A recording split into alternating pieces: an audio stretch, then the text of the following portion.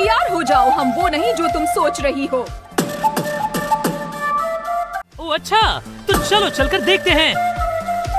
हाँ तुम आगे चलो, मैं तुम्हारे साथ हूँ। दरअसल मुझे भूख लगी है।